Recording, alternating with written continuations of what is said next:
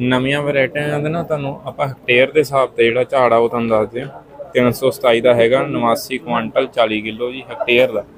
ਠੀਕ ਹੈ ਜੀ? ਉਸੇ ਤਰੀਕੇ ਨਾਲ ਆਪਣਾ DW 47 ਦਾ ਹੈਗਾ 37 ਕੁਆਂਟਲ।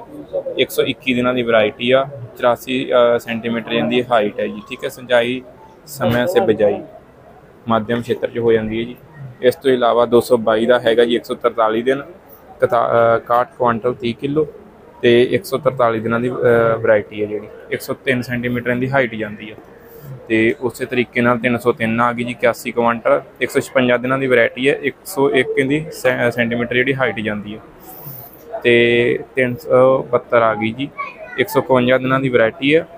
ਅ, 151 ਦਿਨ ਲੈਂਦੀ ਹੈ ਜੀ ਆਪਣਾ ਦਾਣੇ ਤੱਕ ਤੇ 96 ਸੈਂਟੀਮੀਟਰ ਜਿਹੜੀ ਹੁੰਦੀ ਆ ਹਾਈਟ ਆ।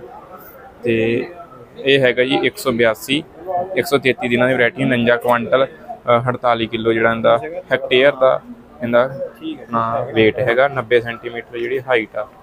ਤੇ ਇਸ ਤੋਂ ਇਲਾਵਾ 42 ਕੁਆਂਟਲ ਹੈਕਟੇਅਰ ਦੀ ਆ ਨਿਕਲਦੀ 137 115 ਦਿਨਾਂ ਦੀ ਵੈਰਾਈਟੀ 85 ਸੈਂਟੀਮੀਟਰ ਦੀ ਹਾਈਟ ਆ। 332 332 ਹੈਗੇ 78 ਕੁਆਂਟਲ 156 ਦਿਨ 97 ਸੈਂਟੀਮੀਟਰ ਜਿਹੜੀ ਇਹਦੀ ਹਾਈਟ ਆ। ਇਹ ਹੈਗਾ ਜੀ 370 74 ਕੁਆਂਟਲ 90 ਕਿਲੋ 151 ਦਿਨਾਂ ਦੇ ਜਿਹੜੇ ਇਹਦੇ ਦਿਨ ਨੇ ਪੂਰੇ 99 ਸੈਂਟੀਮੀਟਰ ਇਹਦੀ ਹਾਈਟ ਆ ਤੇ ਅਗਲੇ ਬੰਨੇ 372 296 ਹੈਗੀ ਜੀ 100 150 ਦਿਨਾਂ ਦੀ variety 102 centimetre height 56 quintal hectare ਦੀ ਨਿਕਲਦੀ ਹੈ 56 ਕੁਆਂਟਲ 10 ਕਿਲੋ।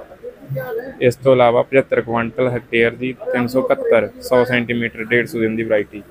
ਚੈੱਕ ਕਰ ਸਕਦੇ ਜੇ ਵੈਰਾਈਟੀ